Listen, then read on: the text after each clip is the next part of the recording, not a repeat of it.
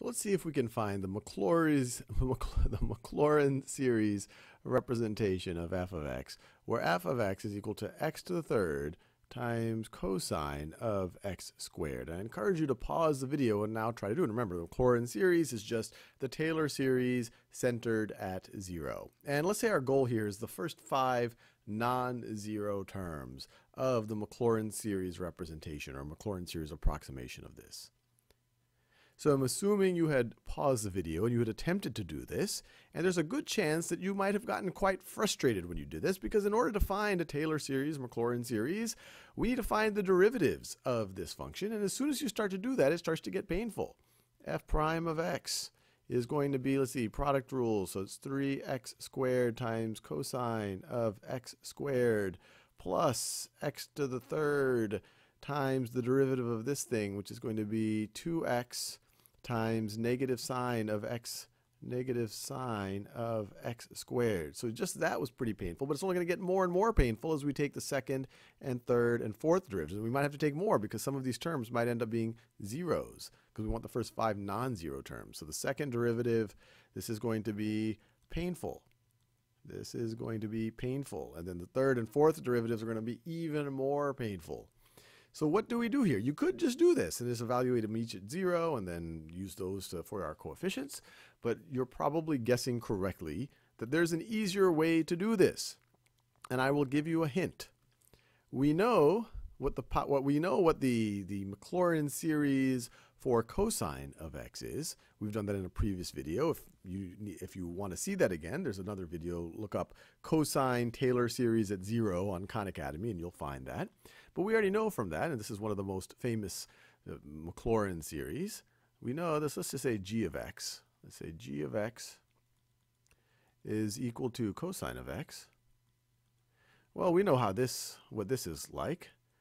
The, the Maclaurin series approximation of that. It's going to be 1 minus x squared over 2 factorial plus x to the fourth over 4 factorial minus x to the sixth over 6 factorial plus, and I could keep going on and on and on. You kind of see where this is going, plus x to the eighth over 8 factorial, and it just keeps going minus plus on and on and on and on. But we wanted first eight, five terms, so this is a start. And I know we, we wanted the first five terms of this thing, but bear with me. We'll see how this thing right over here is going to be useful. So now that I've given you a little bit of a reminder on the Maclaurin series representation of cosine of x, my hint to you is can we use this to find the Maclaurin series representation of this right up here? And remember, all this is, this is x to the third times, and I'm just rereading it for you, this is x to the third times g of x squared. So that's a, a, a sizable hint. I encourage you to pause the video again and see if you can work through this. So let me rewrite. I'm assuming you had a go at it. So let me rewrite what I just wrote. So I just I just told you that g of x, so uh, or f of x, f of x. If I want to write it as, uh, if I wanted to write it as, I guess you could say as a as a function, or if I want to construct it using g of x, I could rewrite it as x to the third times instead of cosine of x squared. That's the same thing as g of x squared. So x to the third times g g of x squared g of x squared. This g of x is just cosine. g of x squared is going to be cosine of x squared, and you're going to multiply that times x to the third.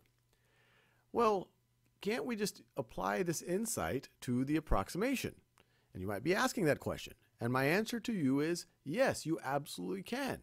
And notice, when you substitute your x's for x squared, you'll just get another polynomial. And if you multiply that by x to the third, you're just going to get another polynomial. And that actually will be the Maclaurin series representation of what we started off with. We actually will get the Maclaurin series representation of this thing right over here.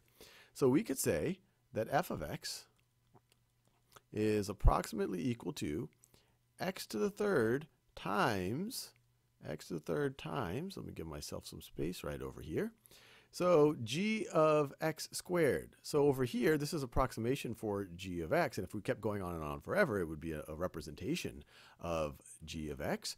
So every place where we see an x, let's replace it with an x squared. So this is going to be 1 minus, so x squared squared is x to the fourth, x to the fourth over 2 factorial, which is really just 2, but I like to put the, the factorial there because you see the pattern, plus if our x is now x squared, x squared to the fourth power is x to the eighth, x to the eighth power four, over 4 factorial, minus x squared to the sixth power is x to the 12th over 6 factorial, and then plus x squared to the eighth is x to the 16th power over 8 factorial, and of course, we can keep going on and on and on, minus plus. But we just care about the first five terms, non-zero terms, and we're saying this is an approximation anyway.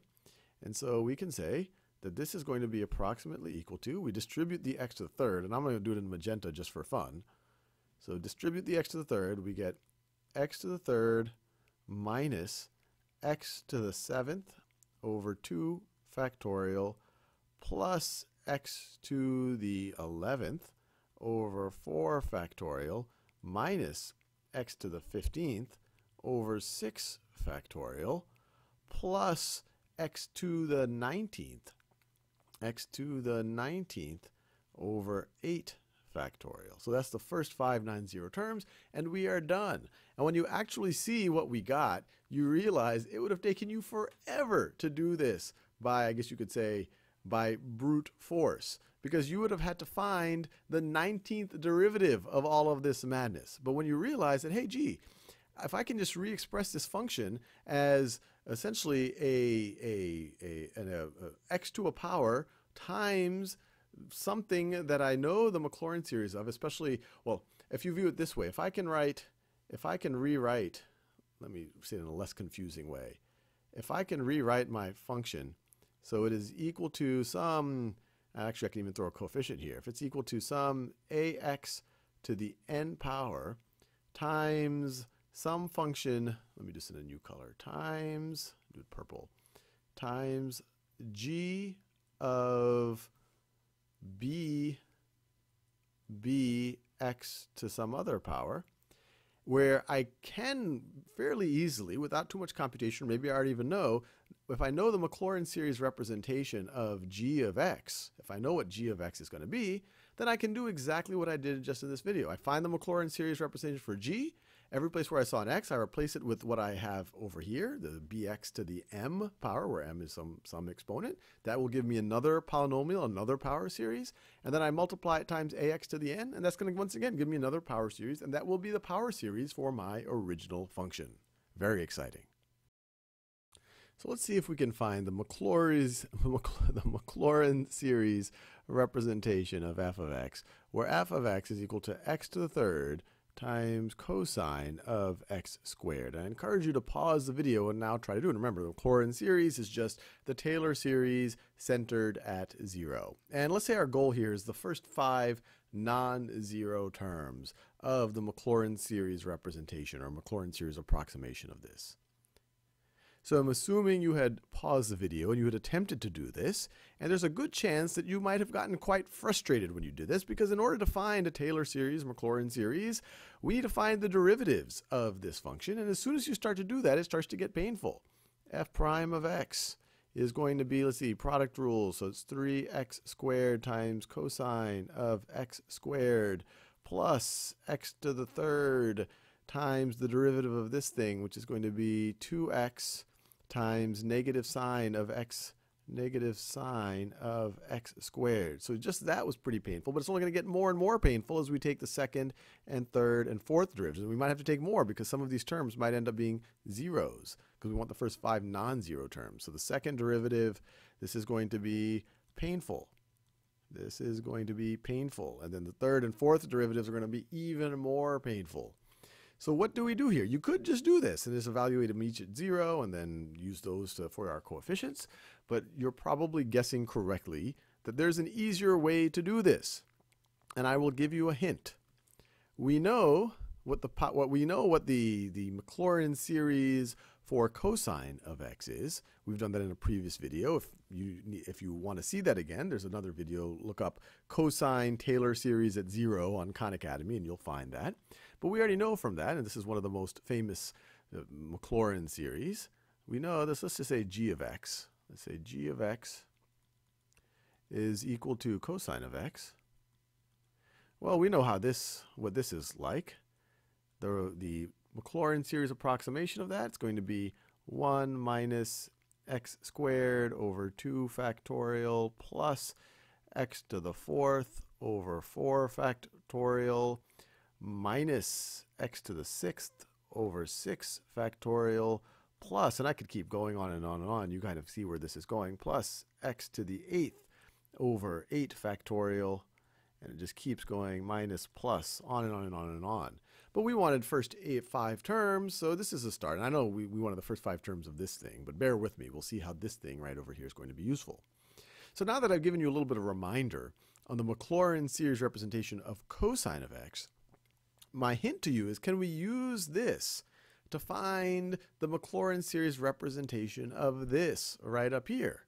And remember, all this is this is x to the third times, and I'm just rereading it for you. This is x to the third times g of x squared.